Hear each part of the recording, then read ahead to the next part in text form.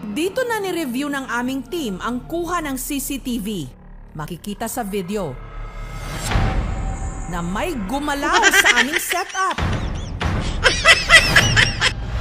Pero hindi nakunan kung sino ang gumana to. Ang hindi alam ng mga taga roon, may isa pa kaming ikinabit na camera na may 360 degrees na view. Kayang kumuha ng buong anggulo ng bahay. At nakakapangilabot ang nakuna nito. Sino? O ano ito?